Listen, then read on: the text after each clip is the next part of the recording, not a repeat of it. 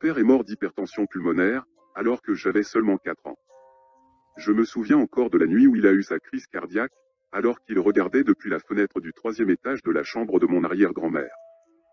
Je me souviens encore des arbres tordus dans la cour avant, leurs ombres rampant, comme d'étranges vrilles sur la pelouse. Cela n'a pas grand-chose à voir avec l'histoire que je m'apprête à raconter, mais cela illustre un point, pour tous ceux qui ont mis en doute ma validité dans le passé. Mes souvenirs de la petite enfance ont toujours été très clairs, surtout pendant cette période de perte de ma vie. Ce n'est pas quelque chose que j'imaginais. La véritable histoire a commencé à la mi-octobre, peu de temps avant que je perde mon père. Halloween était mon jour préféré de l'année, et tout le mois qui le précédait, était toujours une période d'excitation. Il y avait des nuits où je restais éveillé dans mon lit, ravi à l'idée de me déguiser en chat pour la troisième année consécutive, et ainsi de suite. Une nuit en particulier, après que ma mère ait passé la tête dans notre chambre, et m'ait réprimandé parce que j'étais encore debout, je me suis forcé à fermer les yeux et j'ai tenté de m'endormir. J'y étais presque, au bord du sommeil, lorsque j'entendis la porte s'entr'ouvrir lentement. Étant un enfant intelligent, je pensais que c'était ma mère, et je gardais les yeux fermés en faisant des ronflements. Je pensais que ma mère finirait par partir, satisfaite que je m'étais enfin endormi. Mais au lieu de cela, la porte craqua encore plus, et des pas lourds commencèrent à trottiner dans la chambre. Finalement, j'ai osé jeter un coup d'œil pour voir ce qui se passait. Ce que j'ai vu n'était pas du tout ma mère, mais un monstre. Il n'était en aucun cas effrayant. En fait, il était plutôt mignon. Entièrement recouvert d'une épaisse fourrure orange, il dominait mon lit avec un large sourire de dents pointues. Deux cornes de bélier se trouvaient de chaque côté de sa tête, et en raison de sa taille, elles raclaient presque le plafond.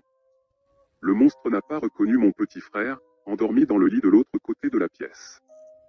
Au lieu de ça, il m'a tendu une main griffue. Je ne sais pas pourquoi je pensais que tout allait bien, mais j'ai accepté son geste, et j'ai placé ma petite paume dans la sienne, et je l'ai tenue fermement. Lentement, il m'a conduit à travers la pièce et vers un espace vide du mur, où ma mère avait l'intention de mettre une sorte de meuble en osier. J'ai regardé avec curiosité, le monstre orange grattait doucement une forme de porte contre le papier peint avec sa griffe, et en un instant, une passerelle était apparue. Me guidant toujours avec le plus grand soin, il entra et nous avons fini engloutis dans un éclair de lumière brillant, qui me força à plisser les yeux. Au fur et à mesure que cela s'estompait et que mes yeux s'ajustaient, j'ai découvert que nous n'étions plus dans ma chambre. Nous étions dans ce que je ne peux que supposer, être son monde, et c'était un monde qui m'émerveillait. Un marché pavé s'étendait devant nous, rempli de stands, et de chariots tenus par toutes sortes de monstres imaginables. Les sorcières ricanaient depuis un stand rempli de potions moussantes, et elles m'ont donné des bonbons au maïs, pendant que nous passions devant elles. Des vampires se reposaient à l'ombre d'un auvent, vendant des fioles de sang décoratives qui brillaient comme des vitraux obscènes. Il y avait des loups-garous, des squelettes, des momies et bien plus encore, tous occupés à préparer Halloween, et tous très sympathiques.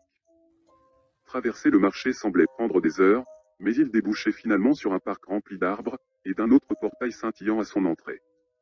Mon monstre m'a guidé là-bas, et après avoir échangé une chaleureuse étreinte, il m'a fait franchir les portes et m'a fait un joyeux signe de revoir. Et puis je me suis réveillé dans mon lit. Mon frère dormait toujours profondément de l'autre côté de la pièce, et le mur blanc était redevenu vide.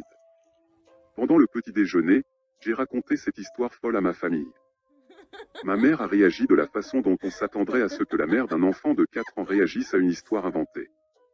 Mon père a juste souri faiblement. C'était un rêve et je pensais que c'était la fin, mais ça avait été tellement excitant. J'aurais aimé pouvoir tout recommencer.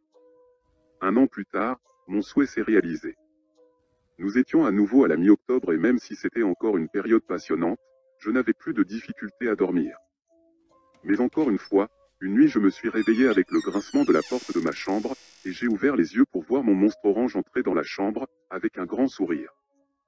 J'ai bondi du lit pour le rencontrer, et encore une fois, il a dessiné la porte sur le mur avec sa griffe et m'a emmené dans son monde.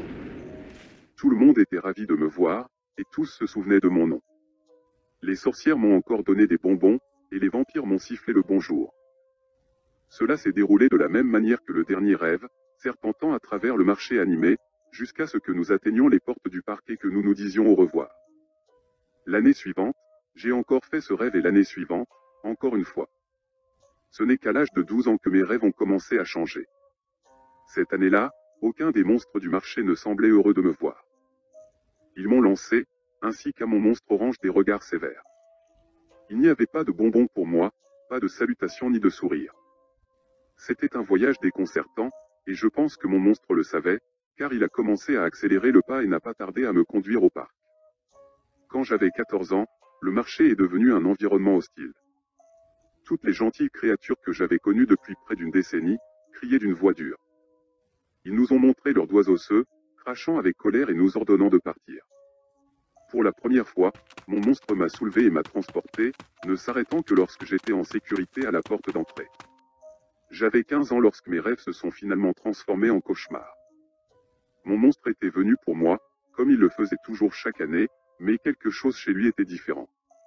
Sa fourrure orange en peluche était devenue fine, et ses cornes de bélier présentaient divers fissures. Il m'a quand même tendu la main et m'a fait franchir cette porte, mais c'était une grave erreur.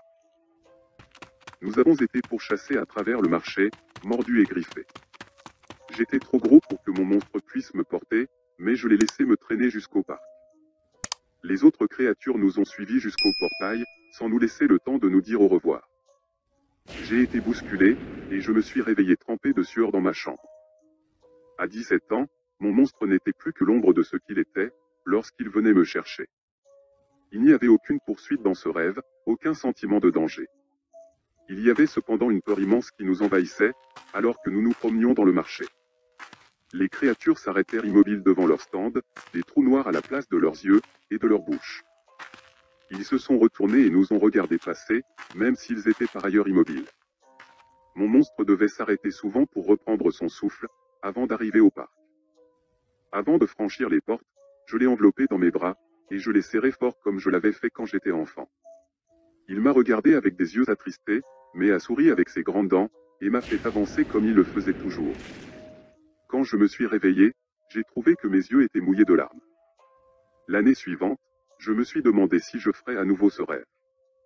C'était très tard le soir d'Halloween, après avoir fait la fête avec des amis, j'ai rêvé dans un état second que quelqu'un griffait mes murs. Je suis sorti du lit et je me suis déplacé prudemment sur le sol, pour constater que la porte baignait de lumière, vers le monde de mon monstre. Par contre, la porte de ma chambre était fermée, et j'étais complètement seul. J'ai franchi le portail tout seul, me demandant s'il attendait peut-être de l'autre côté.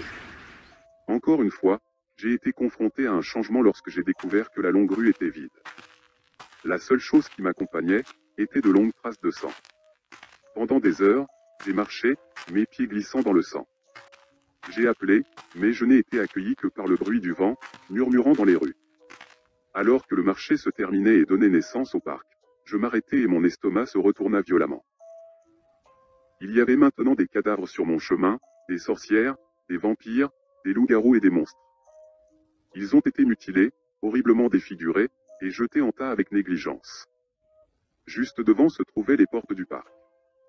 La forme reconnaissable de mon monstre m'attendait, mais il avait le dos tourné. Sa fourrure était également très inégale, révélant un corps gris et musclé, bombé et tremblant de veines. Plus je m'approchais, mieux j'entendais ses respirations profondes. Il ne s'est pas tourné vers moi, mais semblait plutôt penché sur quelque chose. Mon pied toucha un membre, et je trébuchai, criant de surprise. La voix qui sortait de ma bouche était cependant plus haute, paraissant beaucoup plus jeune, que celle d'un jeune de 18 ans. Le cri soudain fit geler mon monstre, et lentement il se tourna vers moi. Dans ses griffes, il tenait les restes démantelés d'une sorte de cadavre. Quand il m'a vu, il a souri avec une nouvelle série de dents acérées. L'odeur de pourriture sortit de sa bouche, et je me retrouva bouche bée devant les morceaux de chair qui pendaient entre ses crocs. J'ai trébuché pour mettre un espace entre nous, et j'ai étouffé un petit sanglot lorsqu'il a tendu la main. J'ai supplié pris de peur, alors qu'il s'approchait d'une hauteur beaucoup plus élevée, et se dressait au-dessus de moi. Il parlait d'une voix sourde, fausse et inhumaine, comme quelque chose d'ancien et n'appartenant pas à notre monde. Encore une fois, il m'a tendu la main avec ses griffes grandes ouvertes, mais je ne l'ai pas prise. Je l'ai repoussé et j'ai couru sur les corps en dessous, me dirigeant vers la porte aussi vite que possible. Je me suis réveillé dans ma chambre avec ma mère debout au-dessus de moi, exigeant de savoir pourquoi je criais dans mon sommeil, et si je devais aller à l'hôpital. J'ai 24 ans maintenant et je n'ai plus eu de rêve depuis, et si je suis honnête, je ne pense pas que je le ferai un jour. J'y pense encore quelquefois, j'en parle à mon mari et à mes amis. Il secoue toujours la tête, riant et me rappelant que personne ne se souvient de choses comme ça, à un si jeune âge. Cela devait être un rêve, pensé en même temps, et donné comme s'il était récurrent. Mais je sais que ce n'est pas le cas. Je me souviens.